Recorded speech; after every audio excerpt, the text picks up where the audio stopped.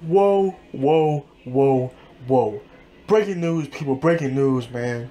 The Indiana Pacers trade Paul George to the Oklahoma City Thunder.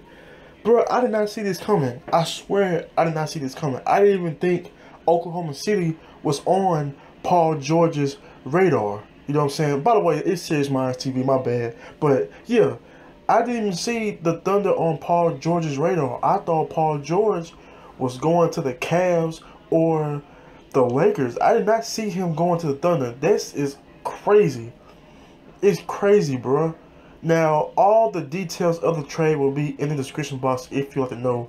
Because uh, Oklahoma City did send some pieces. Like, I think um, Victor Oladipo, he's, you know, they sent him in and blah, blah. But yeah, man, Paul George is now a part of the Oklahoma City Thunder. Crazy.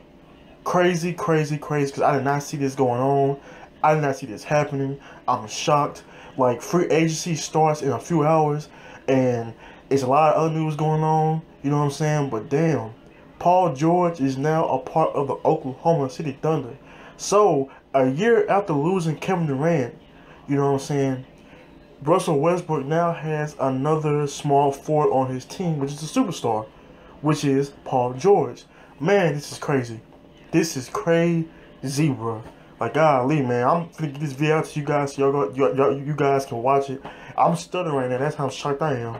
Man, crazy, crazy, crazy, bro, man. Man, be sure and like, comment, subscribe, bro. It's your boy, Serious Minds TV, and I'm out.